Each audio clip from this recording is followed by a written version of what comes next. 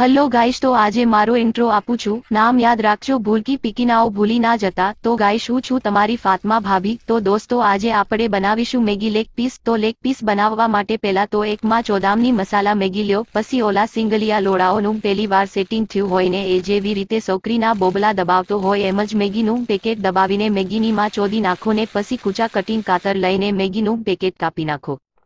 ત્યારબાદ એક કાચી કુંવારી ગાભણી રાંડી રાન સિનારવી મોરઘીનું એક પીસ લ્યો અને એમાં કાંટાવાળી ચમચી ખોહીને એટલા હોલ કરો કે જાણે આખા ગામના લોડા એમાં ખોયા હોય. ત્યારબાદ એક સિનારવી ડીશ લ્યો, એમાં લેગ પીસ રાખીને માથે જાપાની જાંગિયા તોડ તેલ નાખો અને એની માથે ઓલો માદરચોદ મેગી મસાલો સાટીને પિક્કાની જેમ માલિશ કરી લ્યો.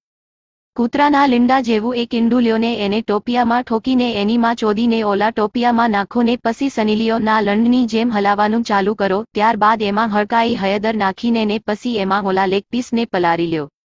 ત્યારબાદ ઓલીમાં ચોદામની મેગીને પથારીની જેમ પાથરીને એમાં ઓલો લંડ સોરી લેગ પીસમાં મેગી સાથે મિક્સ કરી લ્યો અને પછી એને ભોસડા જેવા ગરમ તેલમાં પાકવા રાખો, ત્યારબાદ ચોદેલા ચાયણાથી લેગ પીસ બહાર કાઢીને પછી લોડા જેવી અણીવારી ચાકુથી કટકા કરી લ્યો.